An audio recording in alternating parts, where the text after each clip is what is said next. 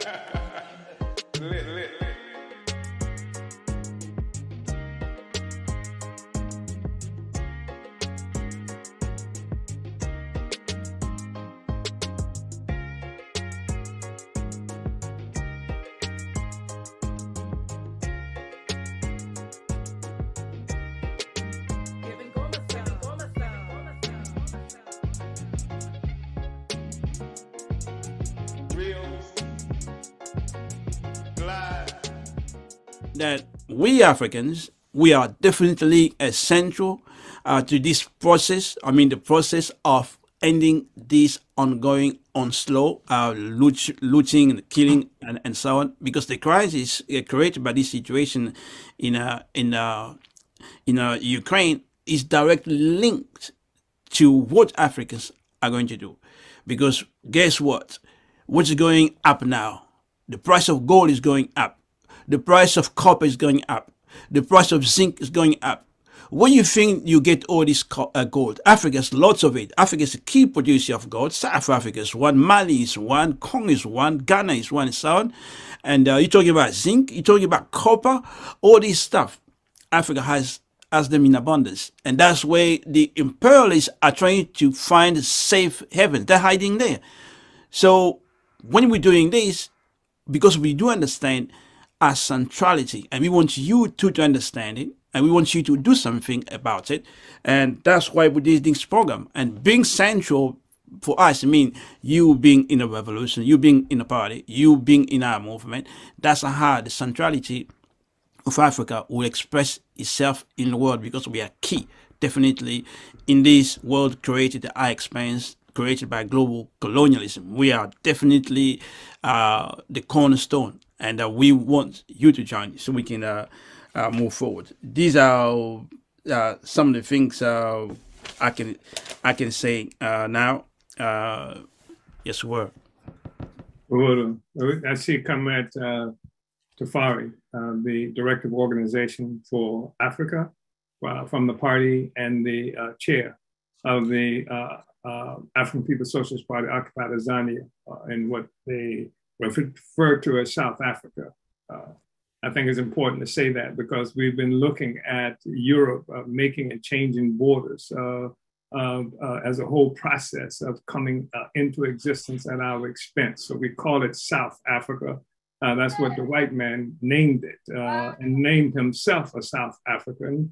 And I think that if we understand things like that, it helps us to put this issue of Ukraine and Russia and who's who uh, into a, greater context and understand the political and economic motivation for all of that. So there's an economic motivation for the creation of what they call South Africa about white settlers. And if, if, if the United States uh, took the same stance that they pretend to be taking now about Russia and Ukraine, they would be bombing white people uh, in Johannesburg, but they're not doing that uh, because it's all right for the white people to have taken Johannesburg. It's a double standard. Even the white left throughout Europe and, and various other places uh, uh won't even talk about that. And the fact that uh, that uh, that much of the attack on the peoples of the world comes from a place they call the United States, that itself is a creature of uh, colonialism at the expense of indigenous and African people. Comrade Tafari, it's good to see you. Uhuru. Chairman, um, thank you. Uh, I just want to firstly see this program. And then, um, yeah, I'm in, I'm in the car here because I have to get my phone charged. You know, most of the time, there's no electricity here in the townships. So, um, they are united with everything that the chairman said, has just said even now, uh, even in terms of this country, you know, it's a settler colony. South Africa is a settler colony, and it was born through that process of, you know, um, of, uh, you know, just creating this social system uh, that we're talking about in terms of its mode of production being colonialism. So we are here, uh, you know, in South Africa uh, in South Africa is, is, is a consequence of that attack on African people that resulted in this whole social system that we're talking about today. And uh, I'm, I'm saying this because, you know, talking about Russia, the United States uh, having an opinion about Russia or having uh, somehow managing to influence some other countries somewhere close to Russia and being a threat is because of the, the, the same process, you know, that got us into the situation of South Africa. Uh, you know, is the same process that made America to be America. You know, it's colonialism altogether everywhere. And uh, here, the population, the white population, I, I heard that that the ANC or South Africa has, you know, uh, just uh, did not vote, into, held its vote in terms of this question around Russia in the United Nations. But then you see the white population here, uh, you know, making phone calls, even there NGOs and organizations asking, uh, you know, like the ANC somehow must take a stand against Russia. You know, the, the white population here is clear about that. They want, because uh, this is like the colonial white population, they want to force the government here, uh, you know, the new colonial government here to, to take a stand. And I saw somewhere actually, somehow the, the spokesperson for the ANC uh, condemning Russia actually, you know, despite what was said there at the United uh, Nations. You know. So um, they, they may uh, actually, actually, in practice, somehow, you know, they have taken a position against uh, Russia.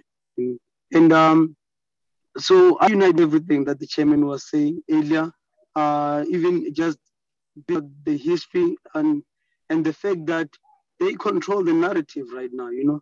Um, the, the, the, the imperialist, Western imperialism, uh, as it's called, they control the narrative. There is a uh, a, a, media company here, the, ma- the major, one of the major media companies here called multi, MultiChoice. You know, those that have access to this thing called DSTV that can watch many channels like CNA, Al Jazeera, and, you know, uh, Russia Today. It has actually announced that uh, this channel called Russia Today will not anymore, starting from Wednesday. They will not allow Russia Today to um, to broadcast anything, you know. So uh, it's it's imperialism everywhere is united, and I think the reason for this is because they understand what this means in terms of uh, the the whole social system that's in crisis right now. Should uh, Russia manage to succeed right there, it has huge implications for Western imperialism. And at the same time, should Russia be defeated there, it has implications for for the whole world. You know that Russia is at the center of things but then the system itself it's the it's, it's in crisis. Uh, you look at uh, the fact that Russia is is, is able to to project uh, the future in terms of what it means to have NATO on its borders right there. Because some people they're looking at it in terms of no, these people invading other people and whatever. But then what does this mean in terms of 20 years from now? Because the USA is capable of overthrowing governments and uh, like imposing puppet regimes, like they have done in, in Ukraine, like they have done in, in, in many other places uh, in history. So um, I, just unite with, with the uh, you know with the position of the party that we stand with Russia, and we, we do this from an objective analysis with the understanding that uh, the whole world is interconnected right now. We're talking about a social system that affects all human beings in the world. That's why I'm, I'm actually, you know, uh, uh, upset and even disappointed with some of these people who are supposed to be black representatives. Uh, you know, like some of these Pan-Africanists who talk about, no, it's just white people fighting against white people, so we should not be involved in whatever.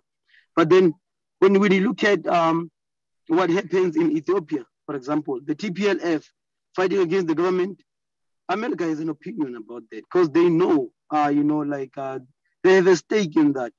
America has a stake in Ethiopia.